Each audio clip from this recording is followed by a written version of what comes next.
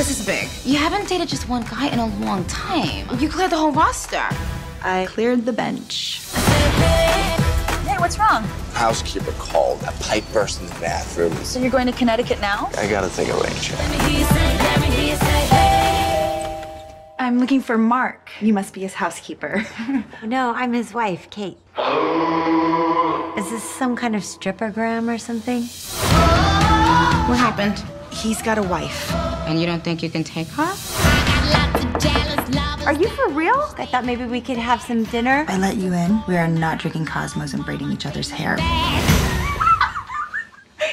am a bad. I am not ready to compete with women like you. We got played by the same guy. Tequila or do you want vodka? So you're saying I should leave him? What does your gut tell you?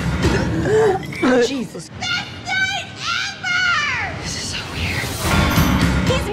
meeting someone. He must be cheating on both of us because it's not me.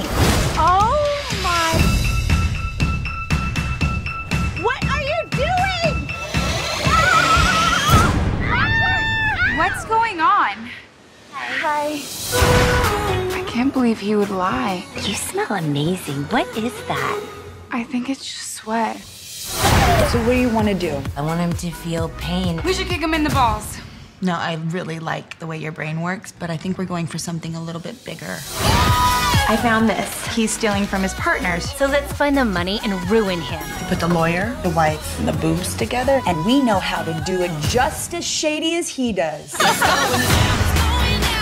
I thought you were giving him hormones. I am. Not for a pre-op transsexual. I look like I need a bra. I think you're going through menopause. Ma- Menopause. Uh-huh. Is it a little... Are you kidding me? Oh, mistress number three. If we find any more mistresses, I'm gonna have to send her to rehab.